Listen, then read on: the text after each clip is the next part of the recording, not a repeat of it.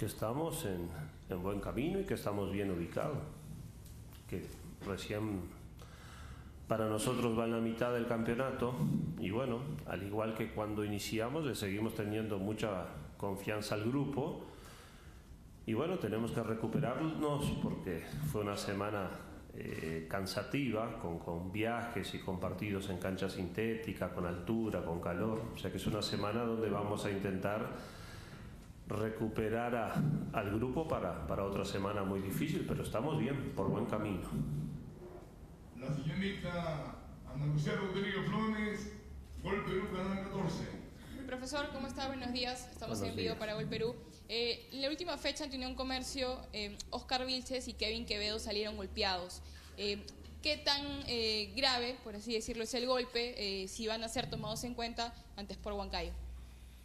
No, no, no van a ser tenidos en cuenta, pero bueno, eh, más bien el, el doctor les después les dice la, la gravedad de las lesiones, pero bueno, por los que nos informó hoy, para el fin de semana no van a estar y bueno, hay que ver cómo, cómo se recuperan para el futuro.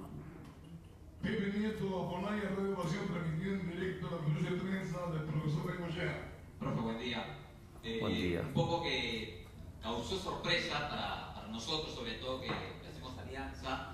Eh, obviamente usted lo tenía muy claro con respecto a jugar con Ramírez casi como centro delantero, después ya la lesión hace que un poco cambie un poco la estructura, el ingreso de Pajoy.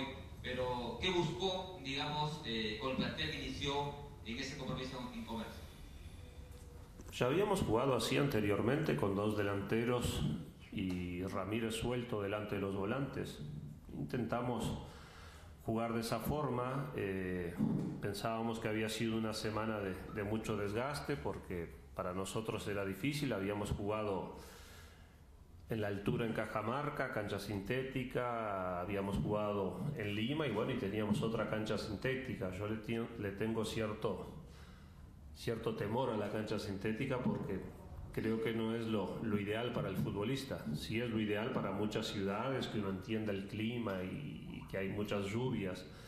Pero bueno, creo que el futbolista sufre bastante y bueno, lo que intentamos es que cuando vienen canchas sintéticas que, que intentar ahí que, que, que haya una rotación de futbolistas. Pensábamos ponerlos a, digamos, a Pajoy y a Yari en el, en el segundo tiempo y bueno, lamentablemente Pajoy tuvo que entrar rápido.